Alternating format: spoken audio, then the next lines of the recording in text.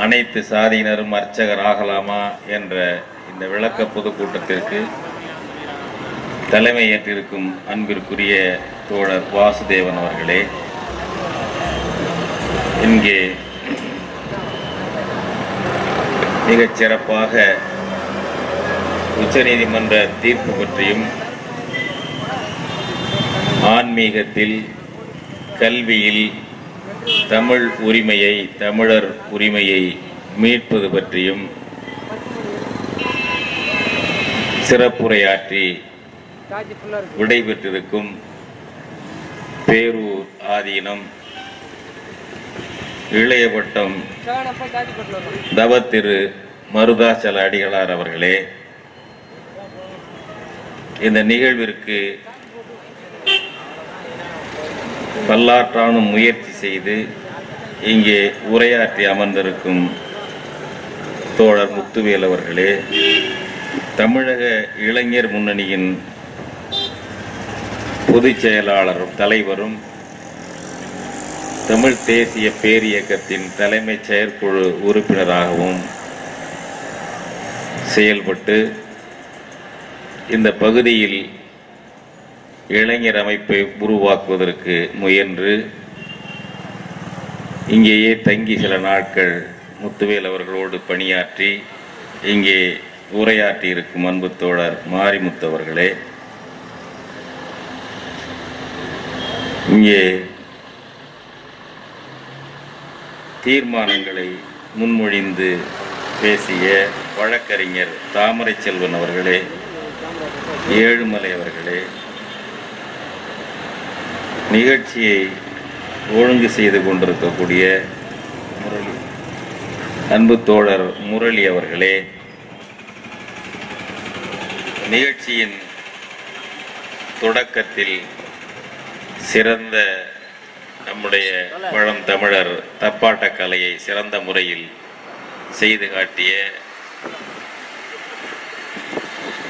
முருகன்குடி தமிழ் தேசிய பேரியக்கத்தின் இளையநிலா கலைக்குழு தோழர்களே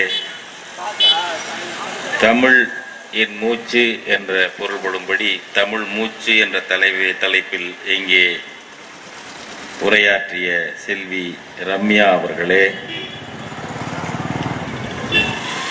செந்தமிழ் காப்பியம் சிலப்பதிகாரத்தில் சிகரமாக விளங்கக்கூடிய வழக்காடு காதையை இளங்கோவடிகள் வடித்து தந்த அதே வரிகளோடு சிற்சில சொல்லாடல்களை மட்டும் சேர்த்து இங்கே நடித்து காட்டிய பேராசிரியர் சுமதி அவர்களே ஜியா முகமது அவர்களே மற்றும் உள்ள தோழர்களே. இந்த கூட்டத்தை நடத்துவதற்கு அனுமதி பெற்று அதற்கான பல்வேறு பணிகளில் ஈடுபட்ட நம்முடைய வழக்கறிஞர் தாமரை செல்வன் அவர்களே பெரியோர்களே நண்பர்களே சகோதரிகளே தோழர்களே.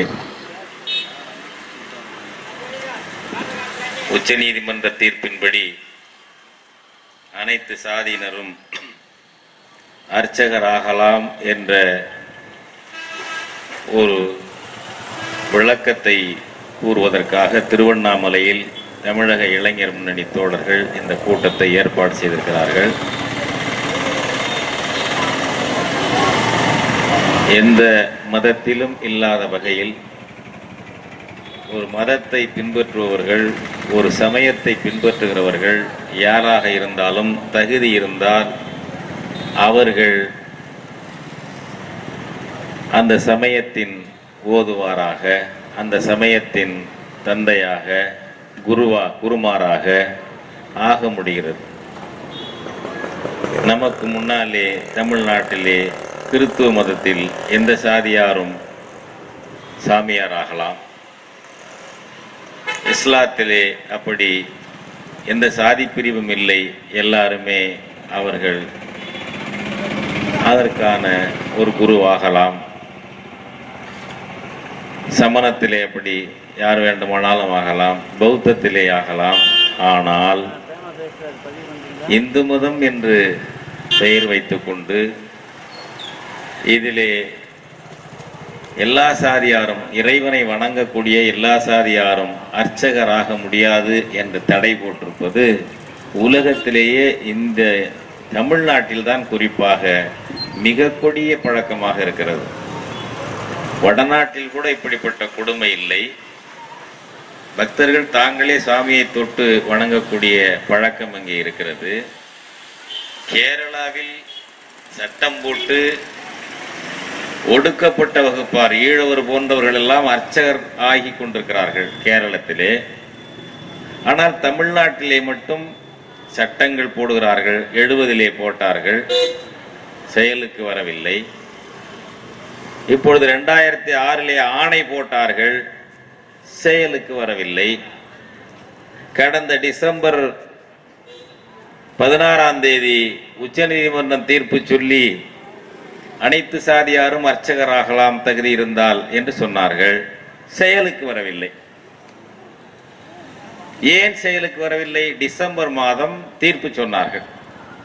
இருநூத்தி ஆறு பேர் தமிழ்நாடு அரசு பயிற்சி கொடுத்து முறைப்படி தீட்சை பெற்று தயாராக இருக்கிறார்கள். அவர்களுக்கு ஏன் வேலை வாய்ப்பு கொடுக்கவில்லை வேலை ஆணை போடவில்லை?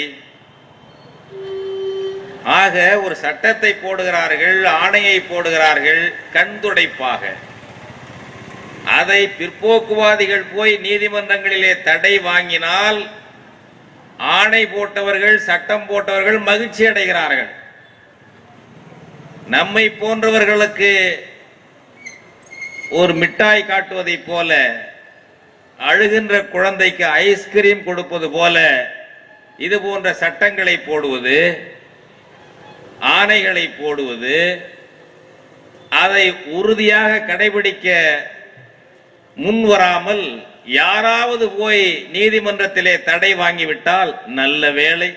அப்பா தடை வாங்கி விட்டார்கள் என்று ஆயாச பெருமூச்சு விடுவது இதுதான் தமிழ்நாட்டு அரசியல். ரெண்டாயிரத்தி ஆறில் திராவிட முன்னேற்ற கழக ஆட்சியில் இந்த ஆணை போட்டார்கள். இவ்வளவு நாள் வழக்கு நடந்து அந்த தடை நீங்கப்பட்டிருக்கிறது. ஆணை செல்லும். மனு போட்டவருடைய மனுக்கள் தள்ளுபடி செய்யப்படுகின்றன. இன்னின்ன வகையிலே இந்த அனைத்து சாதியினர் அர்ச்சகர் அர்ச்சகராகலாம் என்பதை நிறைவேற்றலாம். யாருக்காவது இதிலே ஆட்சேபனை இருந்தால் அந்தந்த கோயில் உள்ள நீதிமன்றத்தில் போய் வழக்கு தொடுத்துக் கொள்ளலாம். என்ன வழக்கு? உச்சநீதிமன்றம் வழிகாட்டியபடிதான் அர்ச்சகராக்கப்பட்டிருக்கிறார்களா? இல்லையா என்பதை நிரூபித்துக் கொள்ள அந்தந்த கோயிலுக்கு கோயிலுக்குரிய நீதிமன்றத்தில் வழக்கு தொடுத்துக் கொள்ளலாம் என்று சொல்லிவிட்டார்கள். பிறகு இந்த இருநூத்தி ஆறு பேருக்கு உத்தரவு போடுவதற்கு என்ன தடை? ஆயிரத்தி தொள்ளாயிரத்தி எழுபதாம் ஆண்டு கலைஞர் கருணாநிதி சட்டம் கொண்டு வந்தார். சேஷம்மாள் வழக்கு என்பது அதுதான். சேஷம்மாள் வழக்கு. அப்பொழுதும் அனைத்து சாதியினர் அர்ச்சகராவதற்கு தடை போடவில்லை உச்சநீதிமன்றம். இன்னென்ன பயிற்சி கொடுத்து அர்ச்சகராக்குங்கள் என்றுதான் சொன்னது. உடனே என்ன செய்து விட்டார்கள்? உச்ச நீதிமன்றம் தடை போட்டு விட்டது உச்ச நீதிமன்றம் தடை போட்டு விட்டது அது உச்சிக்குடிமை நீதிமன்றம் என்று பரப்பினார்களே தவிர உச்ச நீதிமன்றம் தடை போடவில்லை என்ற உண்மையை எடுத்துக்கொண்டு போய் யாருக்கும் அந்த வேலையை கொடுக்கவில்லை. கேரளாவுக்கும் இதே உச்ச நீதிமன்றம் தானே? கேரளாவிலே செயல்படுத்துகிறார்களே. கடந்த டிசம்பர் மாதத்திலிருந்து வலியுறுத்துகிறோம். இருநூத்தி ஆறு பேருக்கு வேலை கொடுங்கள் என்று. திராவிட முன்னேற்ற கழகம் இது பற்றி பேசுவதில்லை. ஆணை போட்ட கழகம் அது. தான் போட்ட ஆணை செல்லும் என்று உச்சநீதிமன்றம் சொல்லி இருக்கிறது இருநூத்தி ஆறு பேருக்கு வேலை கொடு என்று தமிழ்நாடு அரசுக்கு கோரிக்கை வைக்க வேண்டியவர்கள் வலியுறுத்த வேண்டியவர்கள் திராவிட முன்னேற்ற கழகத்தினர். வலியுறுத்தவில்லை.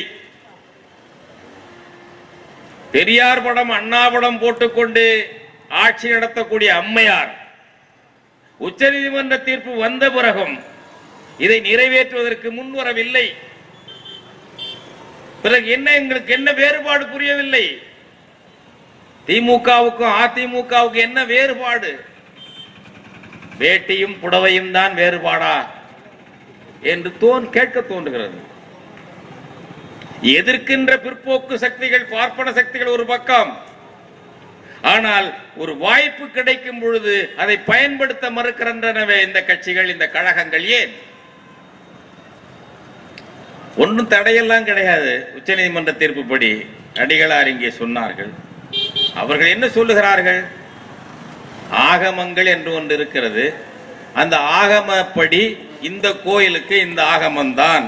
அந்த கோயிலுக்கு அந்த ஆகமம் என்றால் அந்த ஆகமத்தை சேர்ந்தவர்கள் அந்த குடும்பங்களில் இருந்து அதில் பயிற்சி பெற்றவர்களுக்கு நீங்கள் அர்ச்சகர் வேலை கொடுங்கள். இவ்வளவுதான். முப்பத்தாறாயிரம் கோயில் இருக்கிறது. இந்து அறநிலையத்துறையின் கீழ் முப்பத்தாறாயிரம் கோயில் இருக்கிறது என்கிறார்கள்.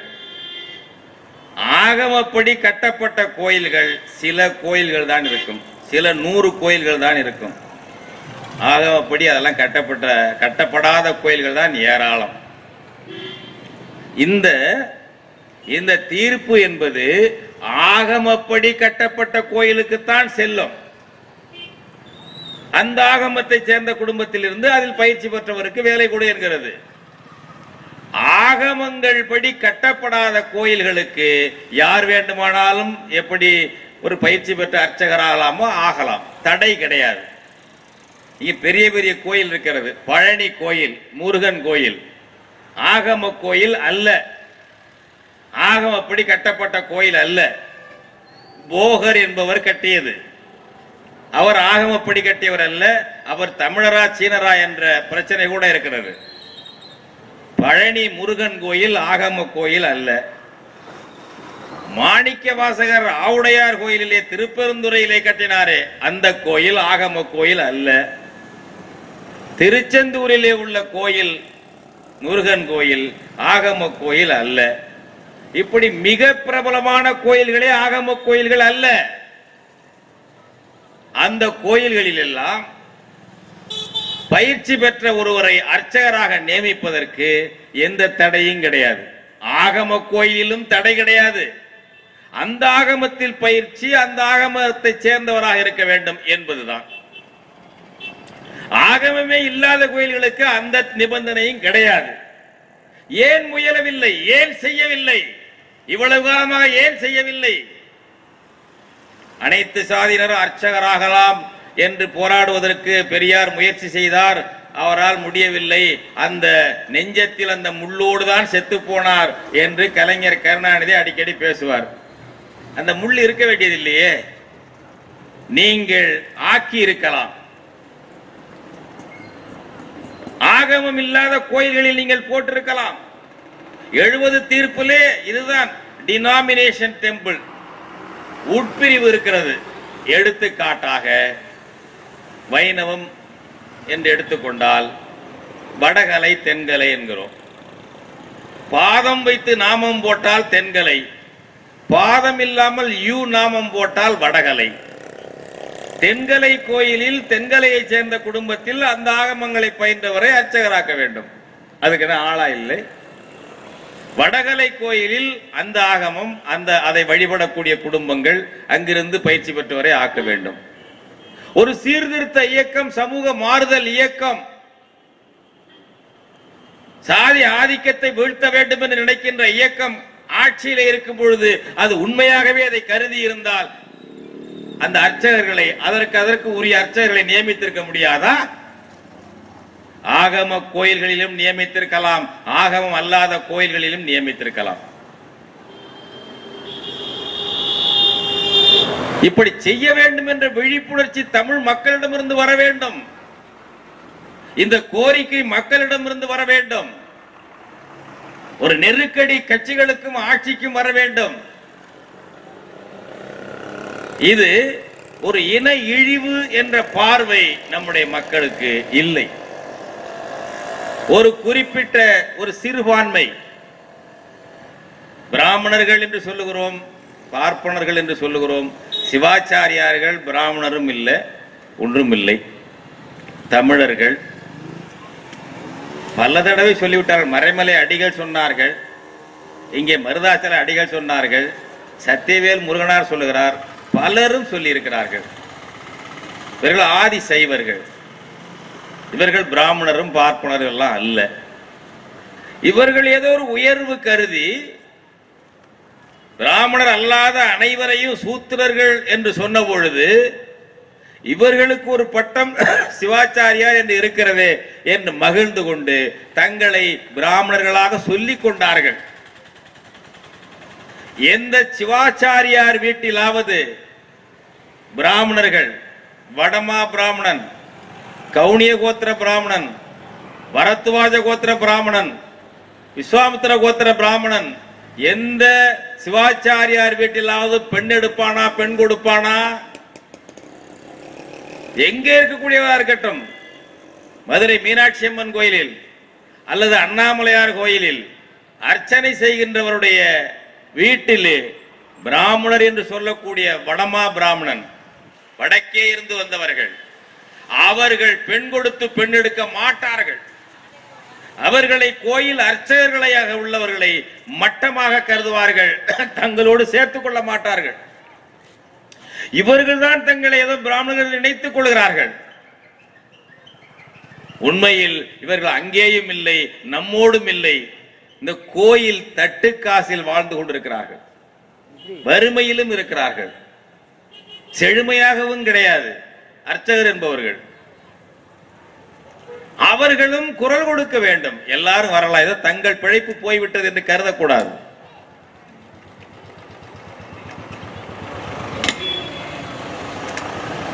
ஒரு இன இழிவு. இன்னைக்கு தான் மதுரை மீனாட்சி அம்மன் கோயில் போல திருவரங்கம் கோயில் போல ஸ்ரீவில்லிபுத்தூர் கோயில் போல அண்ணமா அண்ணாமலையார் கோயில் போல எங்கேயாவது பெருங்கோயில்கள் வடநாட்டில் உண்டா? சிற்ப வேலைப்பாடுகள் நயமான கலை வேலைகள் இந்த உருவங்கள் இதெல்லாம் வடநாட்டிலே கிடையாது. தமிழ்நாட்டில் தான் சிற்பக்கலையோடு கட்டடக்கலை வளர்ந்தது. ஆகமம் என்பது ஒரு கட்டடக்கலை. ஒரு நகரம் கட்டுமானம் செய்யப்படும் கலை. முதல் முதலாக நகரங்களை அமைத்து கட்டுமானங்களை எழுப்பியது தமிழ் இனம்.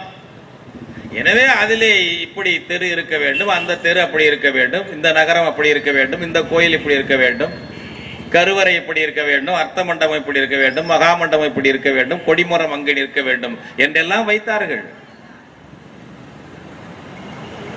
இன்றைக்கு இதில் தலையிட்டு துக்ளக் பத்திரிகை எழுதுகிறது. அனைத்து ஜாதியினெல்லாம் ஆட்சகர் ஆக முடியாது என்று தலையங்கம் தீட்டுகிறது தொடர் கட்டுரை எழுதுகிறது. துக்ளக் பத்திரிகை ஆசிரியர் சிவாச்சாரியார் வகுப்பை சேர்ந்தவர் அல்ல ஆதிசைவர் அல்ல வடமா பிராமணர் வடக்கே இருந்து வந்த பிராமண குலத்திலே ஒன்றை சேர்ந்தவர். உங்களுக்கு என்ன இதிலே வந்தது? நீங்கள் கட்டிய கோயிலா? உங்கள் முன்னோர் கட்டிய கோயிலா? நீங்கள் எங்கிருந்து வந்தீர்களோ அங்கே இதை போன்ற கட்டுமானங்கள் உண்டா? இன்று வரை கிடையாது. இதிலே புகுந்து ஒரு கட்டடக்கலையை வர்ணாசிரம வாதமாக அவர்கள் மாற்றி வைத்திருக்கிறார்கள். வள்ளலார் சொன்னார் வேத ஆகமங்கள் வேதாகமங்கள் என்று வீண்வாதம் ஆடுகின்றீர். வேத ஆகமங்கள் என்று வீண்வாதம் ஆடுகின்றீர். வேத ஆகமங்களின் விளைவு அறியீர். சூதாக சொன்னதல்லால் உண்மை நிலை தோன்ற உரைக்கவில்லை என்று வள்ளலார் சொன்னார். இதையெல்லாம் பார்த்தால் அவர் சொன்னார். எனவேதான் ஒளியை வணங்கு என்று சொன்னார். அவ்வளவு சூழ்ச்சி அவ்வளவு சூது. தமிழர்கள் கட்டி எழுப்பி தமிழர்கள் அர்ச்சித்துக் கொண்டிருந்த அந்த கோயிலுக்குள் புகுந்து கொண்டு தமிழர்களை அப்புறப்படுத்துவது. நீ தீண்டத்தகாதவன் என்பது. உள்ளே வரக்கூடாது என்பது. எவ்வளவு கொழுப்பு எவ்வளவு அநீதி. இதை எப்படி சகித்துக் கொள்வது? நம்மவர்கள் அனைத்து ஜாதியினரும் அர்ச்சகராகலாம். இது ஒரு சமூக நீதி. உரிமை மீட்பு இன இழிவை துடைப்பது என்று நாம் செயல்பட்டால் தமிழர்களிலேயே சில பேர் நினைக்கிறார்கள் எல்லா ஜாதியும் என்றால் அந்த ஜாதிக்காரன் அர்ச்சகன் ஆவானே இந்த ஜாதிக்காரன் அர்ச்சகன் ஆவானே அதற்கு பதிலாக பார்ப்பனரே இருக்கட்டுமே என்று நினைக்கிறார்கள். இதுதான் அவர்களுக்கு இடம் கொடுக்கிறது. உன்னையும் சேர்த்துத்தான் அவன் சூத்திரன் என்கிறான். தமிழர்களுக்குள்ளே மீசையை முறுக்கிக் கொண்டு நான் பெரிய ஜாதி உண்ணா நம்பர் ஜாதி என்கிறீர்களே உங்களையும் சேர்த்துத்தான் சூத்திரன் என்கிறான். உங்களையும் இழிவாகத்தான் தள்ளி வைக்கிறான். நீங்கள் அர்ச்சகராக பிராமணர்கள் ஒத்துக்கொள்வது இல்லை ஒரு இன இழிவு இது. ஏன் இதை எடுக்கிறோம்? ஒரு இனத்தை இன்றைக்கும் சூத்திரன் என்ற வகையில் பஞ்சமன் என்ற வகையில் தமிழ் இனத்தை இழிவுபடுத்துகிறார்கள். அதற்கு கோயிலை பயன்படுத்துகிறார்கள். தமிழர்கள் கட்டிய கோயிலில் தமிழர் தமிழ் அறவோர்கள் எழுப்பிய கோயிலில் அவர்கள் ஆதிக்கம் செலுத்துகிறார்கள். அவர்கள் நபர்களாக ஆதிக்கம் செலுத்துகிறார்கள். அவர்கள் மொழி சமஸ்கிருதம். சமஸ்கிருதத்தில் பாடினால்தான் மந்திர சக்தி உண்டு. தமிழில் பாடினால் மந்திர சக்தி இல்லை என்கிறார்கள். நம்முடைய மக்கள் அதையும் நம்புகிறார்கள். இங்கே அடிகளார் தமிழில் பாடி என்னென்ன அற்புதங்கள் விளைவிக்கப்பட்டன என்று சொன்னார். ஆன்மீகம் என்றாலே எந்த ஆன்மீகமாக இருந்தாலும் அற்புதங்கள் அதோடு இணைக்கப்பட்டிருக்கும். ஆனால் தமிழ் மொழியை வெளியேற்றுவதற்கு இழிவுபடுத்துவதற்கு சமஸ்கிருதத்தில் தான் அந்த புனிதம் இருக்கிறது. அந்த புனித மொழி ஏன் மக்கள் மொழியாக இல்லை? சமஸ்கிருதம் யாருக்கு தாய்மொழி? இந்த பிராமணர்களுக்காவது தாய்மொழியா? தமிழ்தான் தமிழ்நாட்டில் வாழ்கின்ற பார்ப்பனர்களுக்கு தாய்மொழி. எங்களுடைய புனித மொழி எங்களுடைய வர்ணாசிரமத்தை ஆதிக்கத்தை பாதுகாக்கும் மொழி என்று சமஸ்கிருதத்தை வைத்துக் கொள்கிறார்களே தவிர அவர்கள் சமஸ்கிருதத்தை பேச்சு மொழியாக வைத்துக் கொள்ள முடியவில்லை. ஐயாயிரம் ஆறாயிரம் ஆண்டுகளாக பேச்சு மொழியாக எழுத்து மொழியாக இலக்கிய மொழியாக தமிழ் இருக்கிறது. இன்றைக்கும் அது மக்கள் மொழி பேச்சு மொழி இலக்கிய மொழி. இதற்கு பேசுவதற்கு பத்து கோடிக்கு பேர் மக்கள் இருக்கிறார்கள். தமிழை தாய்மொழியாக கொண்டவர்கள் உலகத்தில் பத்து கோடி பேர் இருக்கிறார்கள். சமஸ்கிருதத்தை தாய்மொழியாக கொண்டவர்கள் எத்தனை பேர் இருக்கிறார்கள்? சமஸ்கிருதம் சேர்ந்தாரை கொல்லி. அதை யார் சேர்ந்தாலும் அவனை அழிக்கும் தானும் வாழாது.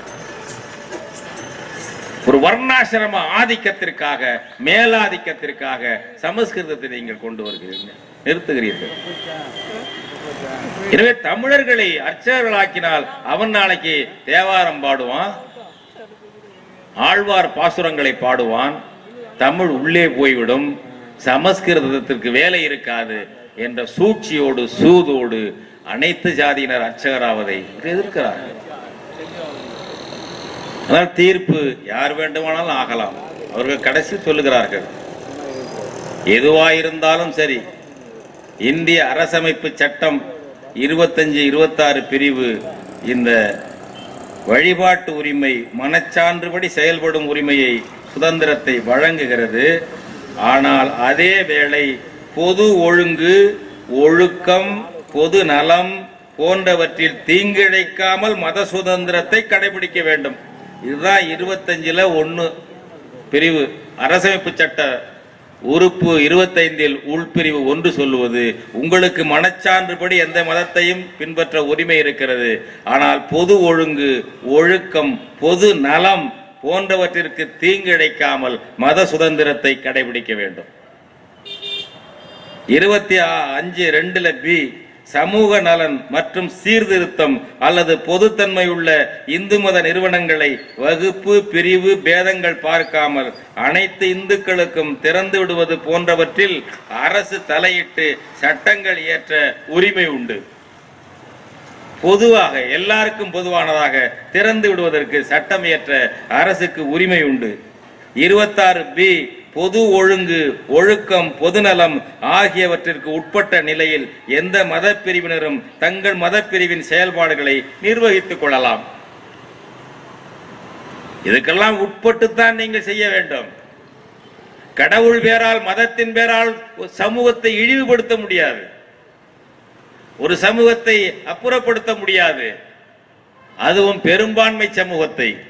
நூத்துக்கு தொண்ணூத்தி ஏழு பேராக உள்ள பெரும்பான்மை சமூகத்தை தீண்டத்தகாதவர்கள் என்று கருவறைக்குள் நுழைய தகுதியற்றவர்கள் என்று சொல்லுகிறார்களே.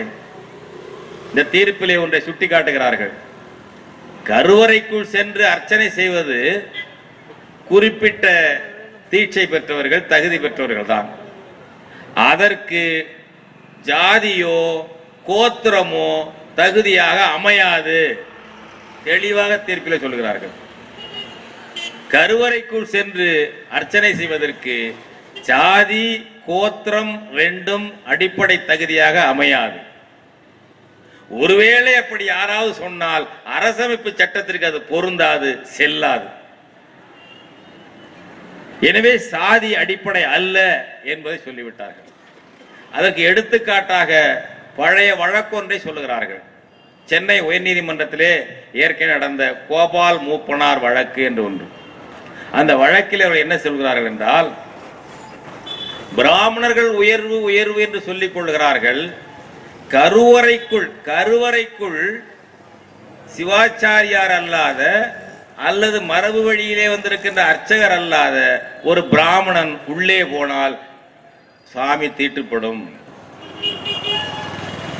எனவே ஒரு பிராமணன் என்பதற்காக குருக்கள் அல்லாத அர்ச்சகர் அல்லாத ஒருவர் கருவறைக்குள் நுழைய முடியாது. இதன் பொருள் என்ன?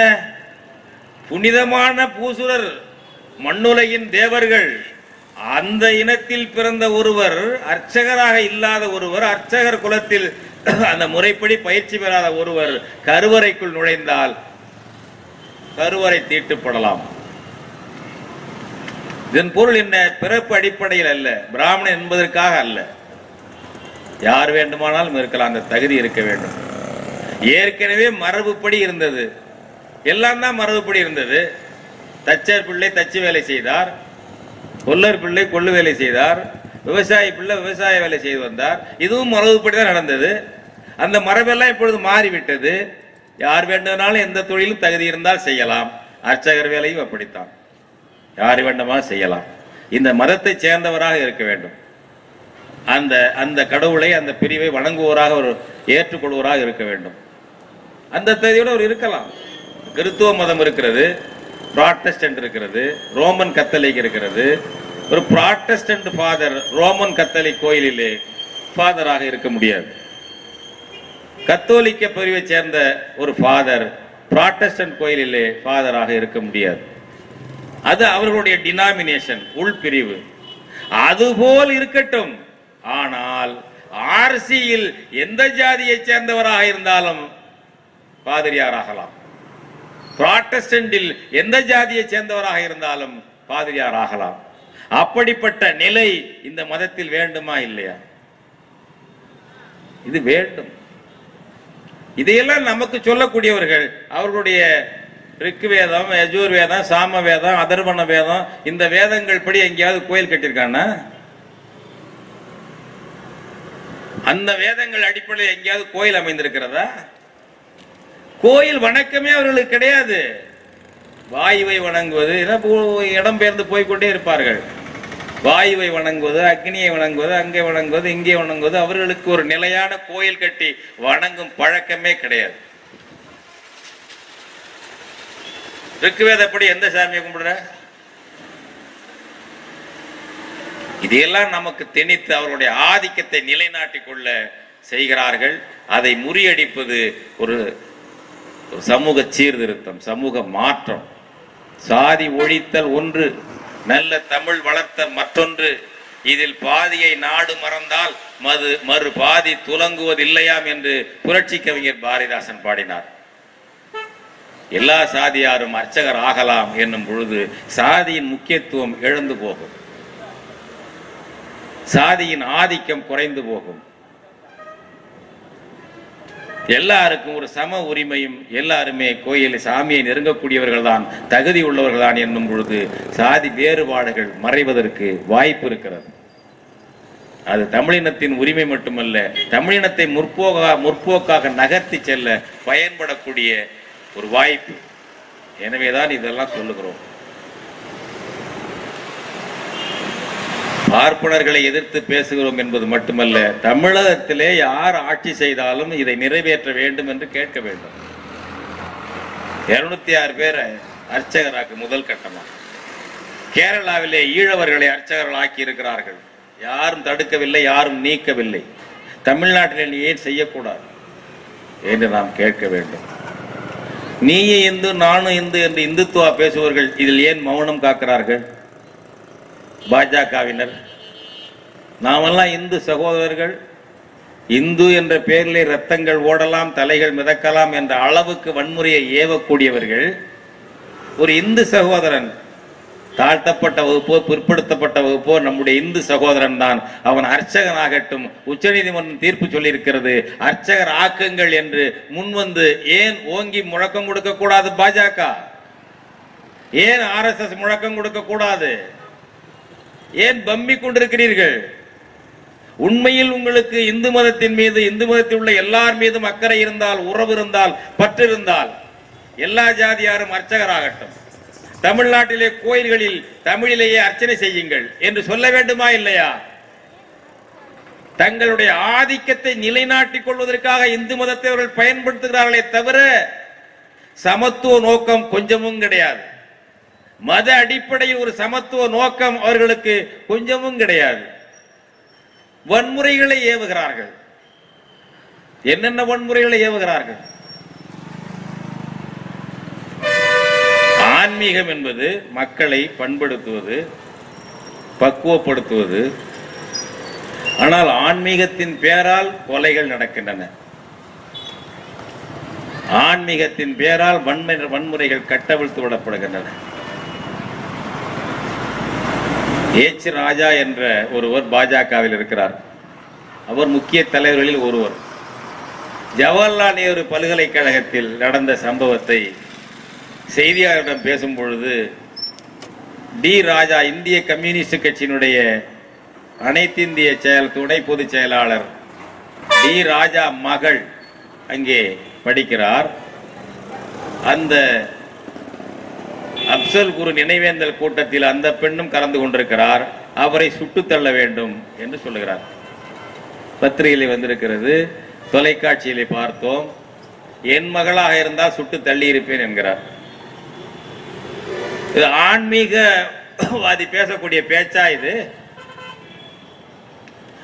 படிக்கிற பெண் படிக்கிற பெண் ஒரு சிறுமி ஒரு நிகழ்ச்சியிலே கலந்து கொள்கிறார்.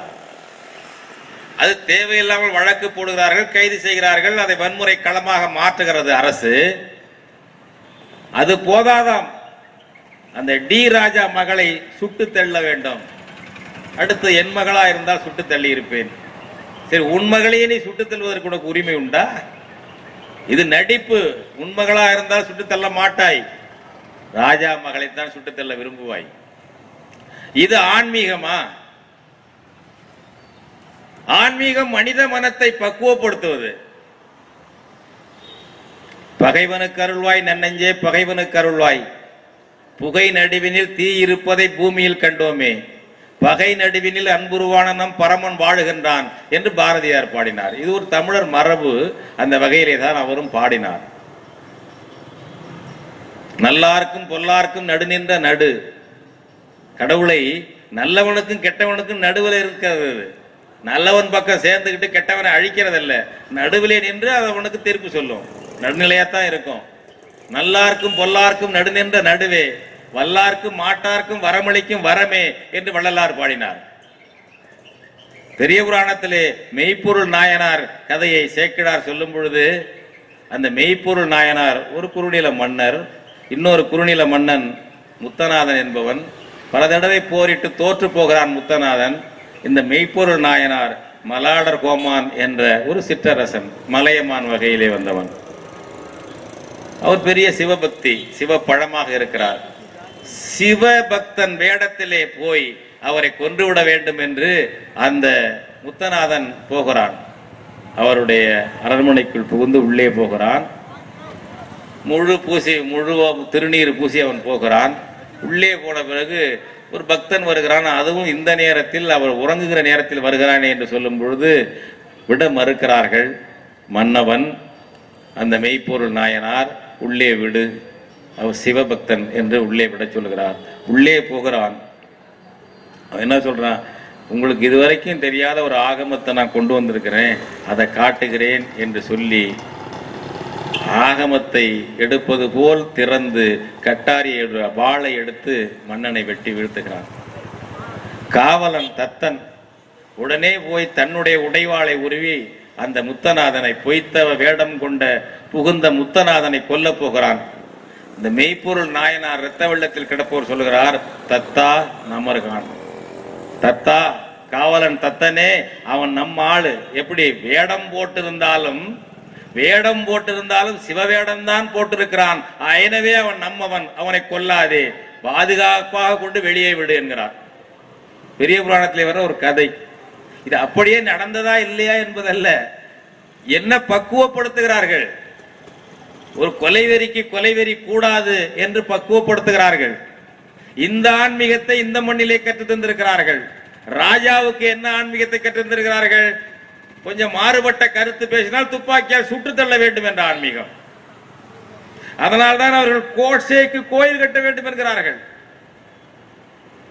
காந்தியடிகளை சுட்டுக் கொன்ற கோட்சேக்கு கோயில் கட்ட வேண்டும் விடுமுறை விட வேண்டும் தியாகி என்று அறிவிக்க வேண்டும் என்றெல்லாம் இன்றைக்கு ஆட்சியிலே இருப்பதற்காக பேசுகிறார்கள். அடுத்த அந்த கூட்டத்திலே ராஜா சொல்லுகிறார் வந்தே மாதரம் சொல்லாதவர்களை நாட்டை விட்டு வெளியேற்ற வேண்டும். நண்பர்களே இளைஞர்களை எண்ணி பாருங்கள். எங்கிருந்து வந்து யார் தோழில் உட்கார்ந்து கொண்டு யார் செவியை கடிக்கிறார்கள்? வந்தே மாதரம் சொல்லாதவர்களை நாட்டை விட்டு விரட்ட வேண்டும் என்கிறார்கள். கோயிலுக்குள் தமிழ் போகக்கூடாது என்று சொல்லுவர்கள் தான் இதையும் சொல்லுகிறார்கள்.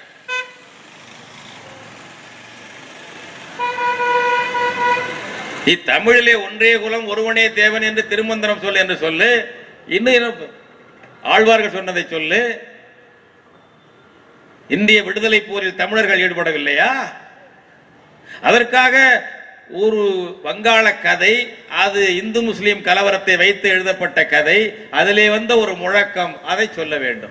வந்தே மாறும் என்ன அவ்வளவு வெறி? தமிழ்நாட்டிலே. அனைத்து ஜாதியினரும் அர்ச்சகராக வேண்டும் என்பதிலே சிறுதுளி அக்கறை கூட இல்லையே. ஆன்மீகம் பேசுகிறவர்களுக்கு. தமிழை அர்ச்சனை மொழியாக்க வேண்டும் என்பதில் சிறு அக்கறை கூட கிடையாது. வந்தே மாதரம் சொல்லவில்லை என்றால் நாட்டை விட்டு வெளியேற்ற வேண்டும். எந்த நாட்டை? சேர சோழ பாண்டியர்களாண்ட தமிழ்நாட்டை இமயத்தில் கொடியேற்றி இசைப்பட வாழ்ந்த தமிழினத்தின் தாயகத்தை அவர்களதோ அவர்களுடைய நாடாக கருதி கொண்டு நாட்டிலிருந்து வெளியேற்ற வேண்டும் என்கிறார்கள். என்ன சாதாரணமா இது? அவர் சொல்லுகிறார் மோகன் பகவத் ஆர்எஸ்எஸ் தலைவர் பிள்ளைகளுக்கெல்லாம் பள்ளிக்கூடத்தில் இளைஞர்களுக்கெல்லாம் அவங்களுடைய பயிற்சி கழகத்தில் சொல்லித்தர வேண்டும். பாரத் மாதா கி ஜே.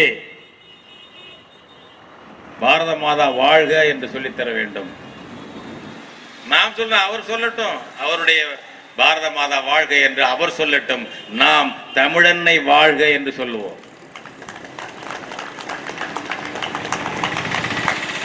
பாரத மாதா என்று சொல்லாதே தமிழ் தாயை கொல்லாதே இந்த முழக்கத்தை சொல்லித் தருவோம்.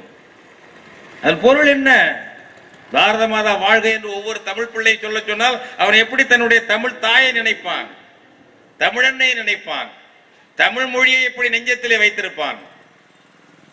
நம்முடைய பண்பாடு க- கலாச்சாரம் அனைத்தையும் ஆரியமயமாக்கி சமஸ்கிருத மயமாக்கியதால் தான் அவர்கள் ஆதிக்கம் இன்றைக்கும் செய்கிறார் பெயரிலே என்ன இருக்கிறது என்று நினைக்கிறோம்? எதற்காக பெயரை மாற்றினார்கள்? ஒவ்வொரு கோயில் அண்ணாமலையார் என்பது எப்படி அருணாச்சலேஸ்வரர் ஆகிறார்? அருணகிரிநாதர் இங்கேதான் பாடினார். மொய்குழல் வள்ளியை மணந்தவன் செந்தமிழால் வைதாரையும் வாழ வைப்பவன். தமிழால திட்டுனா கூட அவனை வாழ வைப்பான். ஏனென்றால் தமிழால் திட்டினான் என்று பெருமையோடு அருணகிரிநாதர் தமிழை போற்றியவர்.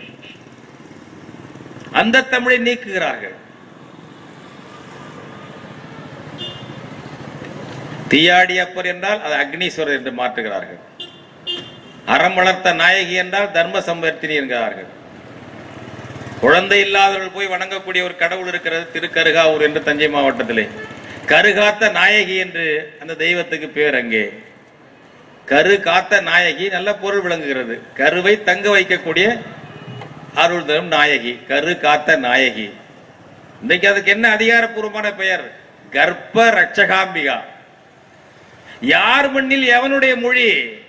யார் தெய்வத்துக்கு இந்த மொழி? உன் ஊர்ல உண்டாது. அலகாபாத்திலே கருகாத்தர கற்ப ரட்சகாம்பியா இருக்காளா? அலகாபாத்திலே உண்டா? பாட்னாவிலே உண்டா? கங்கை கரையில யமுனை கரையிலே உண்டா? தமிழ்நாட்டிலே வைத்திருக்கிறார்கள் அவர்கள் மரபுப்படி. ஆனால் இங்கே வந்து கற்ப ரட்சகாம்பிகா அறம் வளர்த்த நாயகி திருவையாறில் இருக்கிற சாமிக்கு பேரு பெண் தெய்வத்துக்கு பேரு தர்ம சம்பவத்தினி. இந்த விருத்தாச்சலம் முதுகுன்றம் பழைய இலக்கியங்களில் முதுகுன்றம் என்று இருக்கிறது அது வந்து விருத்தாச்சலம். இதையெல்லாம் மாற்ற வேண்டும் என்று இன்றைய தீர்மானத்திலே கொண்டு வந்திருக்கிறோம். ஏன் முடியாதா? மயிலாடுதுறை என்பதற்கு பழைய பெயர் என்ன? மயூரம். காவேரியில் மயில் வந்து நீராடுகின்ற துறை என்ற பொருளிலே மயிலாடுதுறை வைத்திருக்கிறார்கள். அதை சமஸ்கிருதத்திலே மயூர். மயூர் என்றால் சமஸ்கிருதத்தில் மயில். மயூரம். நம்ம வழக்கில் மாயவரம். மீண்டும் எம்ஜிஆர் ஆட்சியில் மயிலாடுதுறை என்று மாற்றினார்கள். சில சிலர் முயற்சிக்கு அவர் இசைவு தெரிவித்தார். காவேரியிலே பசுமாடு போய் நீராடக்கூடிய இடம் ஆடுதுறை. திரு ஆடுதுறை. ஆடுதுறை என்று ஆ ஆடுதுறை திருவாவடுதுறை இருக்கிறது இன்றைக்கும். குரங்கு போய் நீராடக்கூடிய துறை என்று ஒன்று இருக்கிறது. குரங்காடுதுறை. அதை எப்படி மாத்தினா சமஸ்கிருதத்தில் கபிஸ்தலம். கபின்னா குரங்கு சமஸ்கிருதத்தில் கபிஸ்தலம். குரங்காடுதுறை என்ற தமிழ் பெயரை. மறைக்காடு மறை இடையினரை மறை என்றால் மான். மான்கள் நிறைந்த காடு என்று மறைக்காடு. அதை வல்லினர் ஐயாக மறைக்காடாக மாற்றி மறை என்றால் வேதம் என்று வைத்து காடு என்பதற்கு ஆரண்யம் சமஸ்கிருதத்தில் வேதாரண்யம் என்று மாற்றினார்கள். இந்த பெயரை எல்லாம் மாற்றினால் அது என்ன பேர் தானே என்றல்ல. இன ஆதிக்கம். ஒரு சொல் என்பது ஆயுதம் நண்பர்களே தோழர்களே. ஒரு சொல் என்பது ஆயுதம். அந்த சொல்லாயுதத்தை அவன் பயன்படுத்தினான் அன்றும் பயன்படுத்தினான் இன்றும் பயன்படுத்துகிறான். நாம் அது என்ன இதில் இருந்தால் என்ன என்று நினைக்கிறோம். அல்லது ஏமாளியாக அப்படி சொன்னால்தான் பெருமை கௌரவம் விவரம் தெரிந்தது என்று நினைத்துக் கொண்டு அந்த பெயரை சொல்லுகிறோம். அம்மாவை மம்மி என்று சொல்வதில் ஆனந்தம் அடையவில்லையா நாம்? அப்பாவை டேடி என்று சொல்வதிலே மகிழ்ச்சியும் பெருமிதமும் மதிப்பும் அடையவில்லையா? இந்த மாதிரி உளவியலை ஏற்கனவே உருவாக்கி விட்டார்கள்.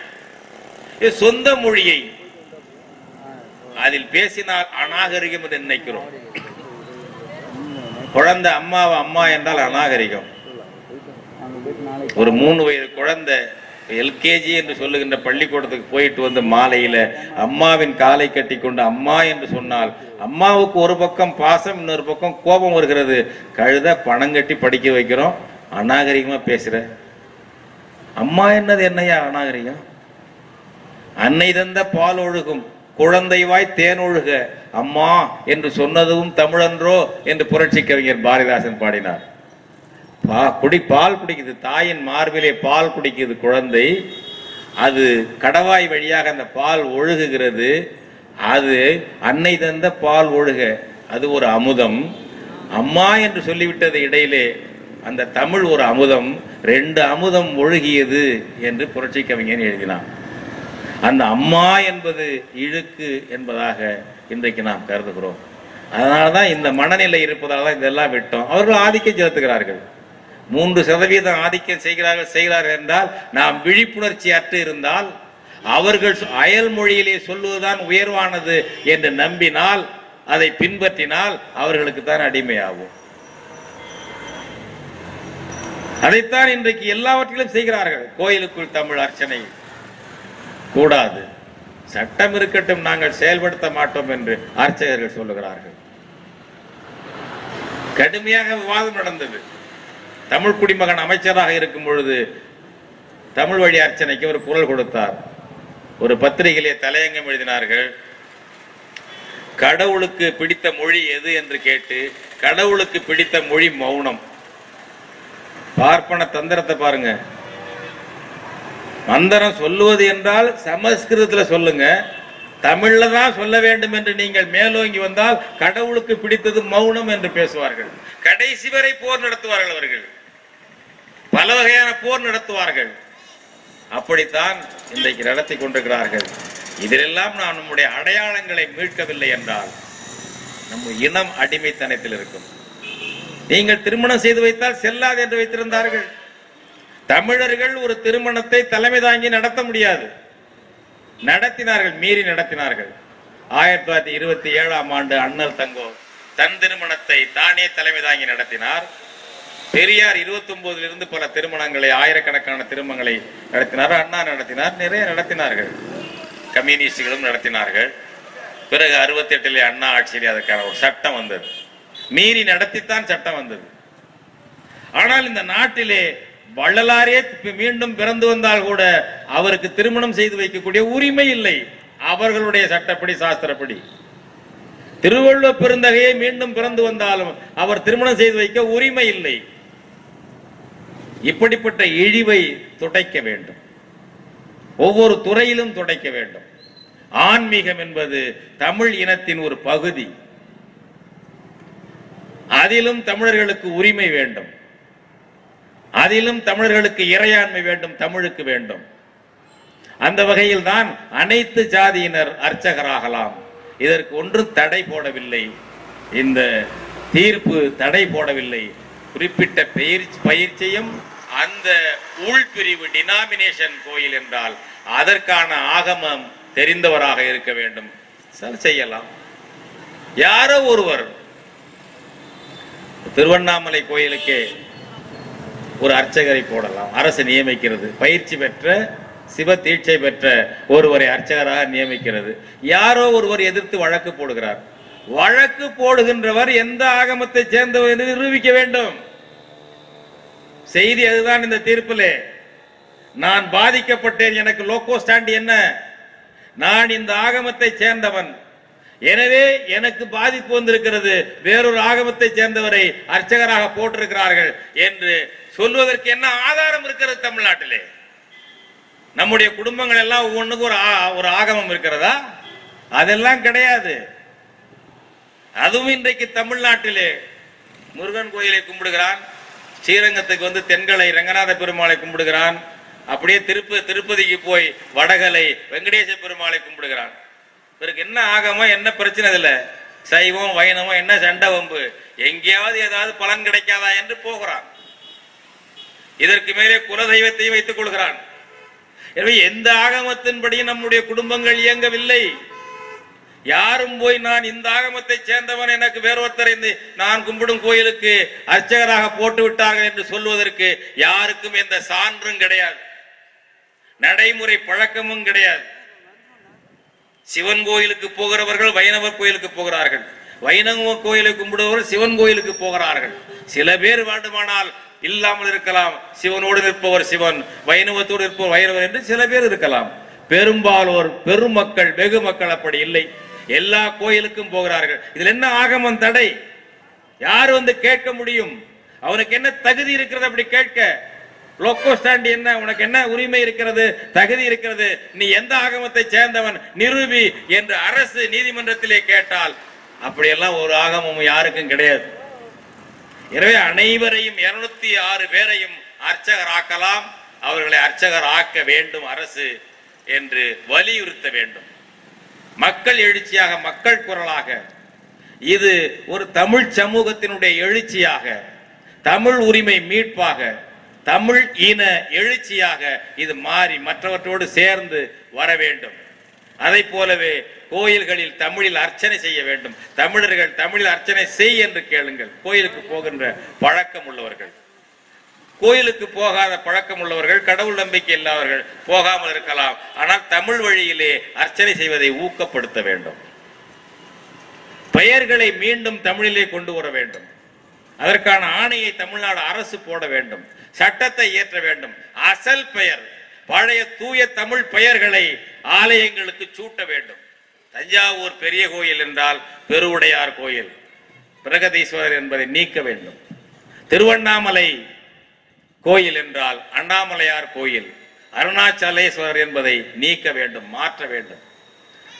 முருகன் கோயில். இப்படி சுப்பிரமணியர் கோயிலாக பழனியில. முருகனுக்கும் சமஸ்கிருதத்துக்கும் முருகனுக்கும் வடநாட்டுக்கும் என்ன தொடர்பு இருக்கிறது? எவ்வளவு கூத்து செய்கிறார்கள்? வள்ளியோடு அவருக்கு திருமணம் நடந்து விட்டது. இப்பார்ப்பனர்கள் பார்ப்பன மயமாக்கும் பொழுது ரெண்டாவது கல்யாணத்தை பண்ணி வைக்கிறான்.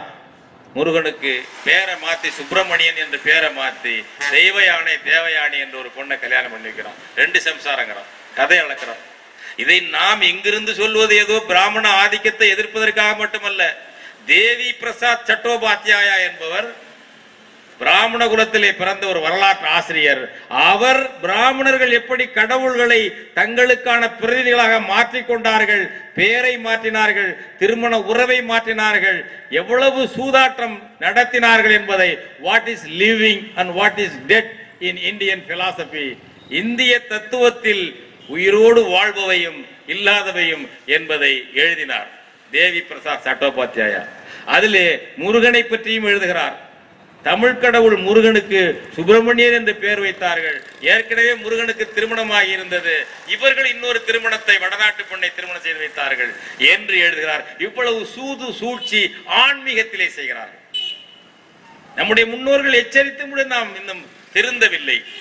திருமூலர் சொன்னார். திருமூலர் பார்ப்பனரை கொண்டு அர்ச்சனை செய்யக்கூடாது என்றார். பிராமணனை கொண்டு செய்யக்கூடாது.